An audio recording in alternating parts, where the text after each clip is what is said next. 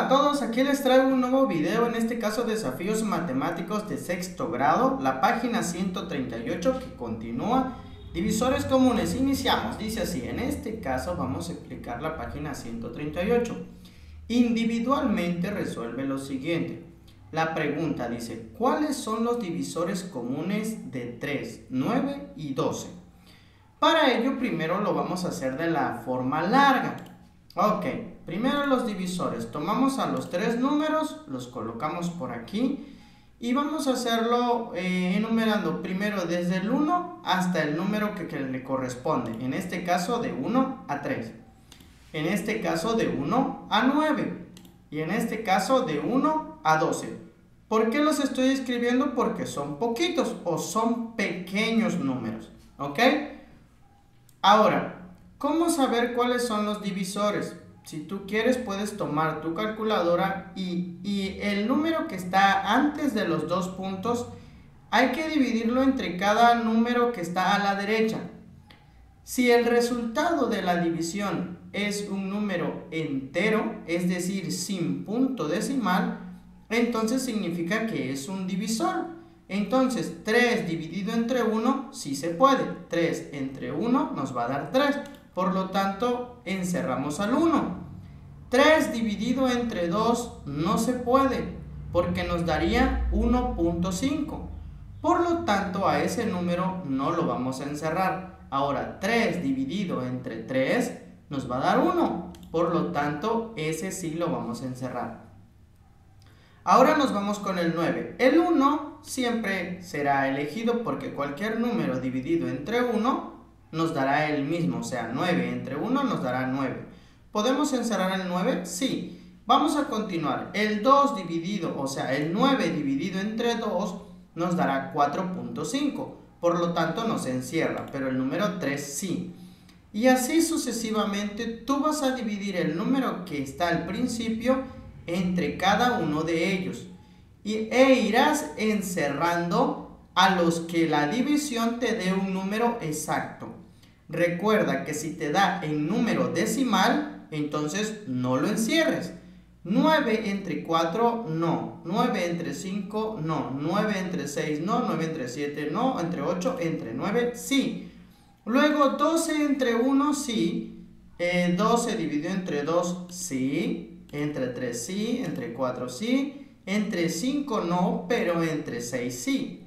Nos vamos hasta el mayor que sería el 12. Todos los que están en color verde son divisores de los que están a la izquierda. Así que son sus divisores. Ahora, ¿cuáles son los comunes? Para ello primero voy a borrar a los que no son.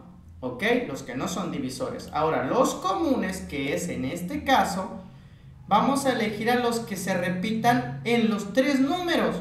Por ejemplo, el número 1 se repite en el 3, o sea, está en el 3, está en el 1, en el 9, perdón, y está en el 12. Por lo tanto, el número 1 es un divisor común de estos tres números. El número 2 no, pero el número 3 sí. Y los otros números que sobran, que están en verde, lo vamos a pasar a color blanco. Esos no son porque no se repiten en los tres casos. Entonces significa que esos los vamos a borrar y solo tendríamos dos divisores comunes del, 9, del 3, 9 y 12. ¿Quiénes son? Son el 1 y el 3. Continuamos con el punto número 2. Dice, ¿qué divisores tienen en común o tiene en común el 20, 32 y 60? Miren, volvamos a escribir a estos tres acá y vamos a escribir todos sus, sus sus números desde el 1 hasta donde está el 20. Por ejemplo, aquí. Luego sería desde el 1 hasta el 32. He colocado puntitos porque no entran todos los números, entonces del 21 sigue 22, 23, 24, 25, así hasta llegar al 32. Ahorita les explico por qué no puse todos. Luego del 1 al 60, también he colocado puntitos, puntitos para que vean cómo funciona. Ok, no son números tan grandes todavía, pero aún así no es necesario escribir todos. tú recuerda, puedes tomar tu calculadora e ir dividiendo 20 entre 1. Si funciona, lo marcamos. 20 entre 2. Si funciona, o sea, si funciona me refiero a que te tiene que dar un número entero. La respuesta no, no tiene que ser número decimal. Así que entre 2 sí se puede, entre 3 no, pero entre 4 sí, entre 5 sí, entre 6 no, 7, 8, 9 no, pero entre 10 sí. Y siempre que lleguemos a la mitad del número, entonces debe de seguir el último, o sea, el mismo. Luego el 1, el 2, el 3 creo que no, sí, pero el 4 sí. 5, 6, sigue el 8. Luego del 8 debería de seguir el 16. Y del 16, como es la mitad, entonces sigue el último número que sería el 32. Por eso no es necesario escribir todos porque después de la mitad del número, cualquiera de los que siguen no será divisor. Solo será divisor, divisor, perdón, el último número, o sea, el mismo. En el siguiente el 60 es el 1, el 2, el 3, el 4, el 5, el 6. Del 7 ya no, pero sí va a seguir el 10, luego el 15, perdón, el 12 también me lo estaba brincando, el 12, y luego el 15, y del 15 debe de seguir el 20, del 20 sigue la mitad, que debe de ser el 30. Después del 30 ya no hay ninguno, porque ya es la mitad. Entonces sigue el último, que sería el mismo. Y de esta manera encontramos primero a todos los divisores. Así que borramos los que no son divisores. ¿Ok? En este caso son todos estos otros que están por aquí. Los vamos borrando hasta que no nos quede ninguno de los que no son divisores. Ahora, ¿cuáles son los comunes? En su caso, los comunes van a ser los que se repitan en los tres niveles. Primero iniciamos con el 1, está en los tres niveles, es común. El número 2, el número 3 no aparece en dos niveles, pero el número 4 sí. El número 5 aparece en el 20, pero no aparece en el 32 aunque sí aparece en el 60, pero no lo, no lo elegimos. De todos los que siguen, no elegimos a ninguno porque solo aparecen dos. Comunes se refiere a que aparezca en los tres o en los dos números, dependiendo cuánto nos den. Así que borramos a todos estos que hemos puesto en color blanco. Los eliminamos. Así, ¿qué divisores tiene en común el 20, 32 y el 60? El número 1, 2 y 4. ¿Ok? Pregunta número 3. Escribe los divisores comunes del 90 y el 70. Si se dan cuenta son números muy grandes. No vamos a escribir todos. Así lo vamos a hacer ahora, de una manera diferente. Diferente pero que ayuda.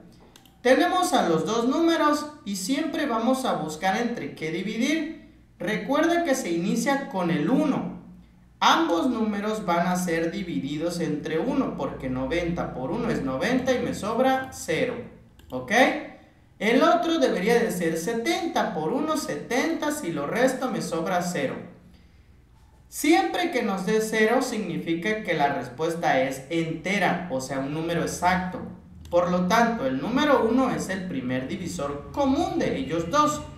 Ahora podemos continuar con el número 2. Solo pondremos las respuestas. En este caso, 45 por 2 me da 90, es entero. 35 por 2 me da 70, es entero. Por lo tanto, el número 2 divide al 90 y también divide al 70. Así que también son comunes. Luego te puedes ir con el 3. 3 por 30 me da 90 y me da 0, o sea, me da entero. Pero 3 por 23 no me da 70, así que me sobra 1. De esta manera significa que aquí como no dieron exactos, o sea, aquí este le sobró 1, o en otras palabras, al dividir 70 entre 3 te va a dar número decimal. Por lo tanto, el número 3 no es común, no lo anotamos. El número 4 tampoco será común porque nos sobran 2, o sea, va a dar número decimal las divisiones. Luego el número 5, en este caso, sí nos dan los dos ceros, o sea, nos dan números enteros. Por lo tanto, significa que este sí lo anotamos. El número 6 no va a funcionar porque en uno de ellos sobra 4. Recuerda, porque 6 por, por 11 nos da 66. Para llegar a 70 faltan 4. Por lo tanto, no son comunes.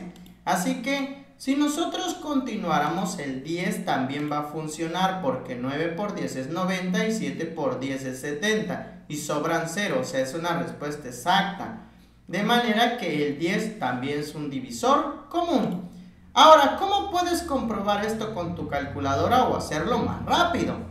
En su caso vas a tomar tu calculadora y vas a dividir 90 entre 10. Si te da entero, entonces funciona.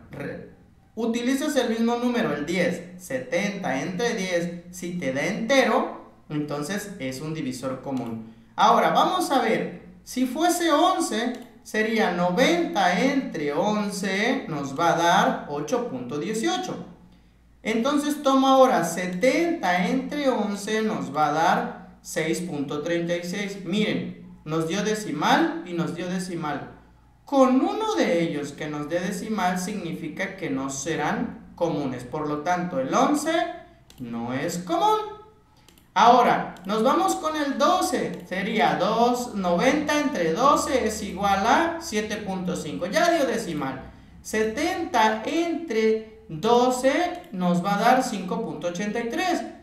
Por lo tanto, ambos son decimales. Con uno que sea decimal ya no es común. Por lo tanto, el número 12 no es común, no lo escribimos.